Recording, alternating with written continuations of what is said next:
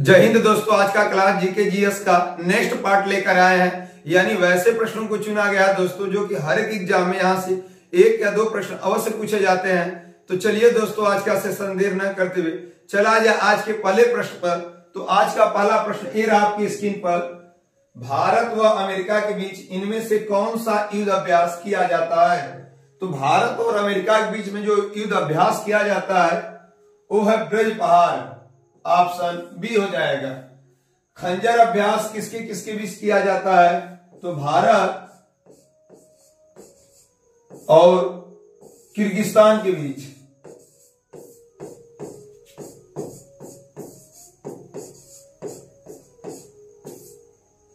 Bongo सागर अभ्यास किसके किसके बीच किया जाता है? तो भारत और बांग्लादेश।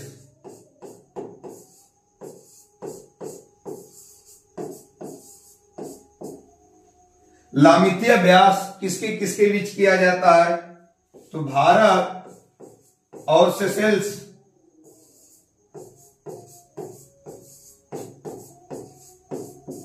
के बीच लामितीय अभ्यास किया जाता है। नेक्स्ट देखिएगा।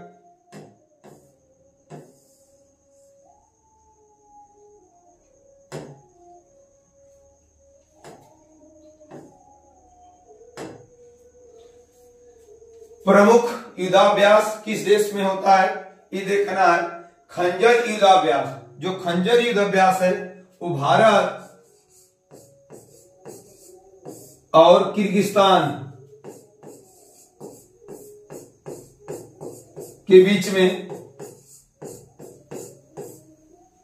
खंजर युद्धाभ्यास होता है। पास एक अभ्यास।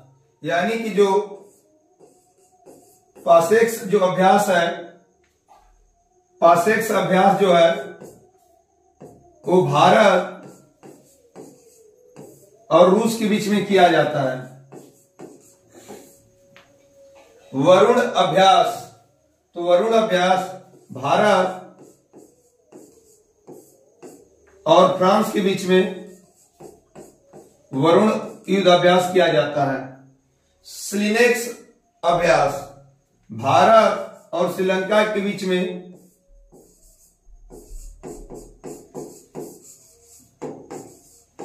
श्रीनेक्स युद्धाभ्यास किया जाता है। लामितीय अभ्यास तो भारत और सेसेल्स के बीच में जो लामितीय युद्ध अभ्यास किया जाता है।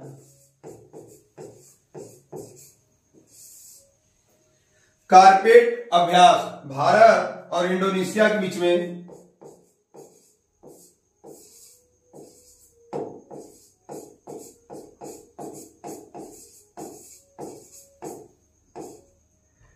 भारत और इंडोनेशिया के बीच में कारपेट अभ्यास किया जाता है। खंजर युद्ध अभ्यास भारत, किर्गिस्तान पासेक्स अभ्यास भारत, रूस वर्ल्ड अभ्यास भारत और फ्रांस, स्लिनेक्स अभ्यास भारत और श्रीलंका, लामिती अभ्यास भारत और कारपेट अभ्यास भारत और इंडोनेशिया। नेक्स्ट देखिएगा।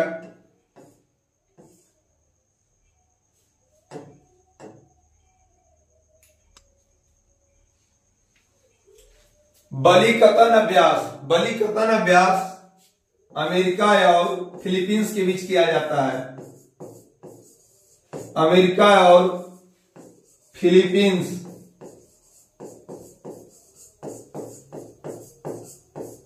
बलि कतन अभ्यास किया जाता है। सिम्बेक्स अभ्यास, भारत और सिंगापुर के बीच। सिम्बेक्स युद्धाभ्यास किया जाता है। वायु शक्ति अभ्यास, भारत और फ्रांस के बीच में वायु शक्ति युद्ध अभ्यास किया जाता है। चीरू अभ्यास तो चीरू सी सी एच से हो जाएगा चाइना, आई से ईरान आर यू से रूस। यानी यह युद्ध अभ्यास चीन, ईरान और रूस के बीच में चीरू युद्ध अभ्यास किया जाता है। धर्म गार्जियन अभ्यास, भारत और जापान के बीच में। भारत और जापान के बीच में जो धर्म गार्जियन अभ्यास किया जाता है, अजय वारियर अभ्यास, ये भारत और ब्रिटेन के बीच में अजय वारियर अभ्यास किया जाता है। कोंकण शक्ति अभ्यास, भारत और ब्रिटेन के बीच कोकड़ शक्ति अभ्यास किया जाता है। बलि कथन अभ्यास पूछा जाएगा, अमेरिका और फिलीपींस। सिम्बेक्स अभ्यास, भारत, सिंगापुर, वायु शक्ति अभ्यास, भारत, फ्रांस। चीरू अभ्यास सी एच से हो जाएगा चीन आई से हो जाएगा ईरान आर यू से रूस। यानी चीन, ईरान, रूस के बीच में चीरू युद्ध अभ्यास किया जाता है। धर्म, गार्जियन अभ्यास, भारत, जापान, अजय वारियर अभ्यास, भारत, फ्रांस। कोकड़ शक्ति अभ्यास तो भारत, ब्रिटेन। नेक्स्ट देखिएगा दोस्तों।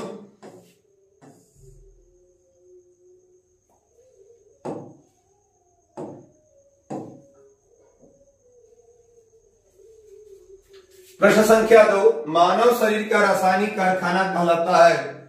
Option A, kidney, option B, यकृत, ऑप्शन सी, अमाशय, ऑप्शन डी, हृदय। यानी मानव शरीर का जो रासायनिक कारखाना है, उसका नाम यकृत है। और यकृत का जो रंग होता है, किस रंग का होता है? गहरा, लाल, भूरा होता है। यकृत का वज़न, यानी वेट पूछा जाएगा, भार तो डेढ़ के जी का होता है। यकृत का दूसरा नाम जो होगा, इसको यकृत को तो जीगर के नाम से भी जाना जाता है। और यकृत जो है, उस शरीर के ताप को नियंत्रण रखती है। शरीर के ताप को नियंत्रण रखती है।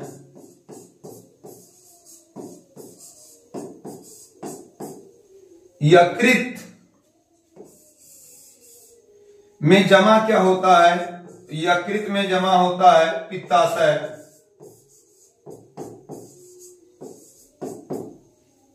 अब पित्त श्रावित कहाँ से होता है?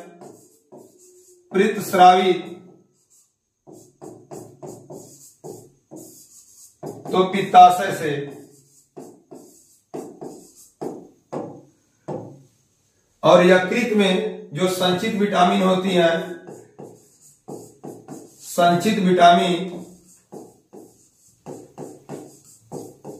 वसा में जो घुलनशील विटामिन होती है, उसी को संचित विटामिन माना जाता है। ए डी ई के, ये सब यकृत में संचित विटामिन पाई जाती हैं। यकृत किस रंग का होगा? गहरा, लाल, भूरा। भार कितना होगा? डेढ़ के जी का। इसका दूसरा नाम जिगर शरीर के ताप को नियंत्रित रखती है। यकृत में पूछा जाएगा, जो जमा होता है, वह पित्ताशय होता है। पित्त कहाँ से श्रावित होता है? पित्ताशय से। और संचित विटामिन यकृत में कौन कौन होती है? विटामिन ए डी ई के जो वसा से विटामिन होती है। तो इस प्रकार से हो जाएगा ऑप्शन दूसरा यकृत और शरीर की सबसे बड़ी ग्रंथि भी पूछी जाएगी। शरीर की सबसे बड़ी ग्रंथि, सबसे बड़ी ग्रंथि तो आपका यकृत होगा। सबसे बड़ी ग्रंथि यकृत होगा। नेक्स्ट देखिएगा।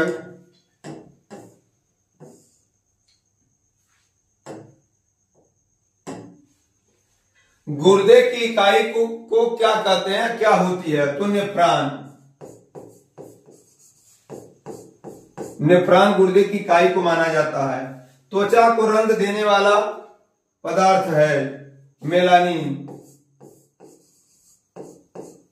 मेलानिन जो है वो त्वचा के रंग को देगा यानी काला गोरा होना मेलानिन के कारण है। आरबीसी का वैज्ञानिक नाम क्या है? आरबीसी का वैज्ञानिक नाम इरिथो साइट है। और आरबीसी का जो मृत्यु कहाँ होती है पूछा जाएगा तो प्लीन में। उत्तर का अध्ययन कहलाता है हिस्टोलॉजी। हिस्टोलॉजी। उत्तर का अध्ययन कहलाता है। ग्लूकोमा और टेक्रोमा। ग्लूकोमा और टेक्रोमा रोग किस अंग में होता है? तो यह नेत्र में होता है। यानी मनुष्यों के आँख में ग्लूकोमा और टेक्रोमा रोग होता है। डीएनए की खोजकर्ता कौन है? तो डीएनए के खोजकर्ता जेम्स वाटसन। जेम्स वाटसन और फ्रांसिस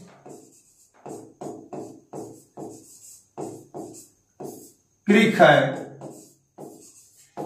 यानी डीएनए के खोजकर्ता वाटसन और क्रिक कहीं दिया रहेगा, इसे आप टिक कर देंगे नेक्स्ट देखिएगा।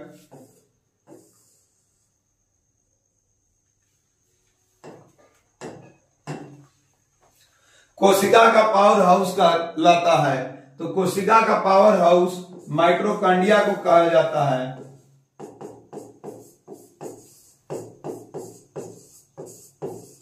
माइक्रोकांडिया कोशिका का पावर हाउस कहलाता है। सबसे मज़बूत प्राकृत रेशा कौन सा है? तो जो रेशम है, वो सबसे मज़बूत प्राकृत रेशा कहलाता है। मनुष्य में पसलियों की संख्या कितनी है? तो मनुष्य में पसलियों की संख्या 24 मानी जाती है। शरीर की सबसे मज़बूत हड्डी कहाँ की होती है? तो जांग की होती है। जांग की हड्डी, और उस हड्डी का नाम फीमर है।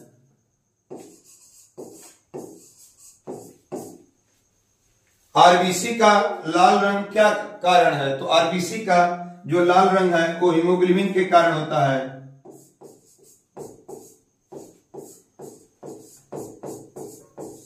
हीमोग्लोबिन के कारण आरबीसी का रंग लाल माना जाता है। कोशिका का पावर हाउस माइट्रोकांडिया सबसे मज़बूत प्राकृतिक रेशा रेशम है। मनुष्य में पसलियों की संख्या होती है चौबीस।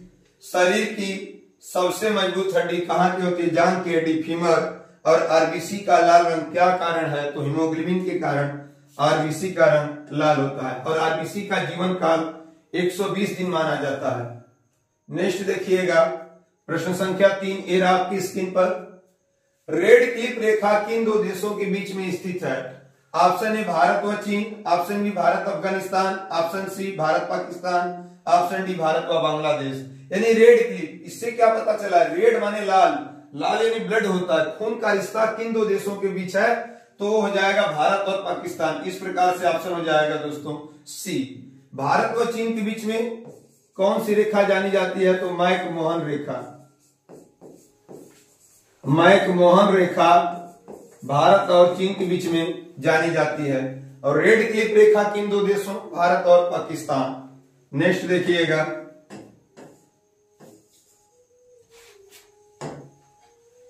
भारत का सबसे पूर्वी बिंदु कौन सा? है भारत का सबसे पूर्वी बिंदु पूछा जा रहा है तो एक की बूथू होगा। कहाँ पे पड़ता है? अरुणाचल प्रदेश। अरुणाचल प्रदेश। और अरुणाचल प्रदेश में सबसे पहले सूर्य दिखाई देता है भारत में। भारत का सबसे पश्चिमी बिंदु कौन सा है? तो भारत का सबसे पश्चिमी बिंदु सरक्रीक। सरक्रीक। और पड़ता कहाँ पे है? तो गुजरात में। भारत का सबसे उत्तरी बिंदु कौन सा है? तो भारत का सबसे उत्तरी बिंदु इंदिरा काल है। इंदिरा काल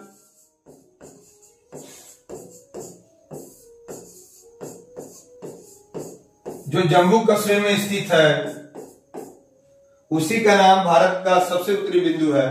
भारत का सबसे दक्षिणी बिंदु कौन सा है? तो भारत का सबसे दक्षिणी बिंदु इंदिरा पॉइंट है। इंदिरा पॉइंट। और इसे पिगमेलियन पॉइंट भी कहते हैं तमिलनाडु में स्थित है। तमिलनाडु में स्थित है। पिगमेलियम पॉइंट क्या है? तो पिगमेलियन पॉइंट भारत का सबसे दक्षिणी बिंदु है और यह तमिलनाडु में स्थित है। भारत का सबसे दक्षिणी बिंदु। दक्षिणी बिंदु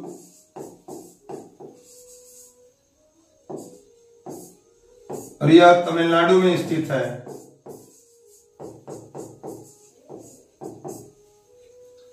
तो भारत का सबसे पूर्वी बिंदु पूछा जाएगा कीबुथु, अरुणाचल प्रदेश, भारत का सबसे पश्चिमी बिंदु सरक्रिक गुजरात, भारत का सबसे उत्तरी बिंदु तो इंदिरा काल, जम्मू कश्मीर, भारत का सबसे दक्षिणी बिंदु। Indira point, Tamil Nadu Pygmalion point क्या है? तो भारत का सबसे दक्षिणी जो हिस्सा है, वो पिगमेलियन पॉइंट के नाम से जाना जाता है, जो कि तमिलनाडु में स्थित है। नेक्स्ट देखिएगा भारत के किस राज्य की सीमा सबसे ज़्यादा राज्यों से लग, लगती है? तो भारत की उत्तर प्रदेश की सीमा पहले नौ राज्यों से लगती थी और वर्तमान में आठ राज्य और एक केंद्र शासित प्रदेश से लगती है। तो उत्तर प्रदेश की।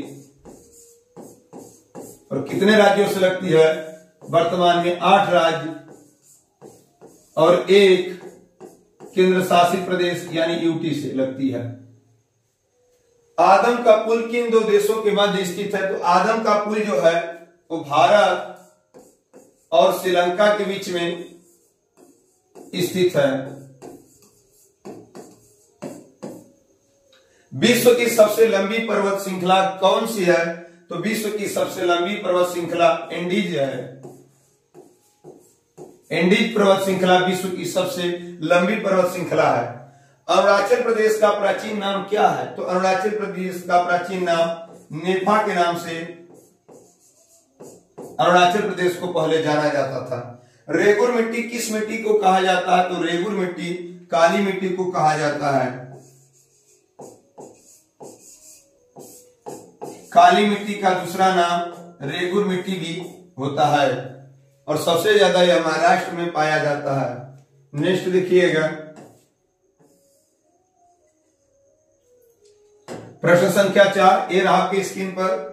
दक्षिण एशिया का सबसे बड़ा मरुस्थल कौन सा है?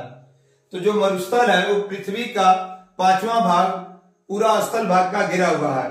और दक्षिण एशिया का सबसे जो मरुस्थल है, वो थार का मरुस्थल है। इसे भारतीय मरुस्थल भी कहा जाता है। जो थार मरुस्थल है इसे भारतीय मरुस्थल भी कहा जाता है। भारतीय मरुस्थल और यह दक्षिण एशिया का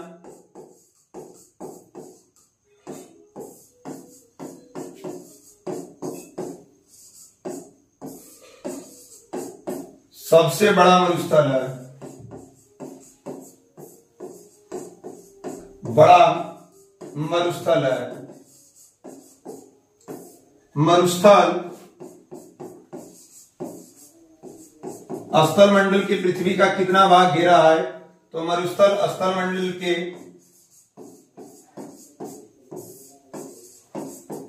पृथ्वी का पांचवा भाग पूरा घेरा हुआ है। तो इस प्रकार से ऑप्शन हो जाएगा दक्षिण एशिया का। तो हो जाएगा ऑप्शन नंबर ए, थार। यहाँ सहारा आया है। सहारा मरुस्थल विश्व का सबसे बड़ा मरुस्थल है। तो जो सहारा मरुस्थल है, वो विश्व का सबसे बड़ा मरुस्थल के नाम से जाना जाता है। सहारा मरुस्थल। नेक्स्ट देखिएगा।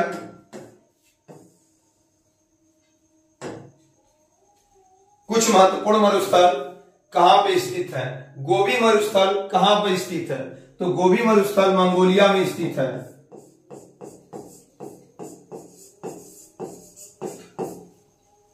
दस एक काबिर मरुस्थल कहाँ स्थित है? तो दस एक काबिर मरुस्थल ईरान स्थित है।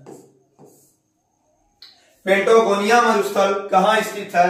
तो पेंटोगोनिया जो मरुस्थल है, वो अर्जेंटीना में स्थित है। अर्जेंट टीना में पेंटोगोनिया मरुस्थल स्थित है। तकला मकान मरुस्थल कहाँ स्थित है? तो तकला मकान मरुस्थल चीन। ए ऑप्शन में नहीं दिया जाएगा तो मध्य एशिया में स्थित है।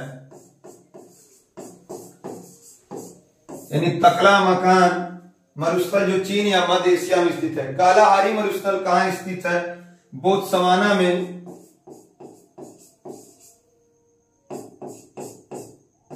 काला हाली मरुस्थल स्थित है। अटकामा मरुस्थल कहाँ स्थित है? तो चिली में। चिली में और अटकामा मरुस्थल एक ऐसा मरुस्थल है जो विश्व का सबसे बड़ा शीत मरुस्थल के नाम से जाना जाता है। विश्व में सबसे बड़ा सबसे बड़ा शीत मरुस्थल शीत मरुस्थल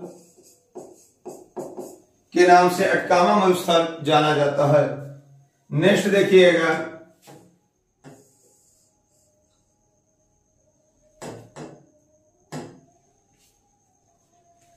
दुनिया का फेफड़ा कहलाता है। तो दुनिया का फेफड़ा जो अमेजान वर्षा वन है, उसे कहा जाता है और यह अकेले पूरी दुनिया में 20 परसेंटेज ऑक्सीजन देता है। तो इसका हो जाएगा अमेजान। वन वर्षा। और इसे दुनिया का फेफड़ा कहते हैं। ये पूरे 20 प्रतिशत ऑक्सीजन देता है। राष्ट्रीय वन नीति कब लागू हुई थी? तो राष्ट्रीय वन नीति 1988 में लागू हुई थी। सुंदरी नामक वृक्ष कहाँ पाए जाते हैं? तो सुंदरी नामक वृक्ष जो पाए जाते हैं, वो पश्चिम बंगाल में पाए जाते हैं। सुंदरी नामक वृक्ष पश्चिम बंगाल में पाए जाते हैं। भूमध्य सागर को लाल सागर से जोड़ने वाला जो नहर है, उसका नाम स्वेज नहर है। स्वेज नहर भूमध्य सागर और लाल सागर को जुड़ती है। किन दो ग्रहों को सहोदर भाई कहा जाता है? अरुण और वरुण को सहोदर भाई के नाम से जाना जाता है।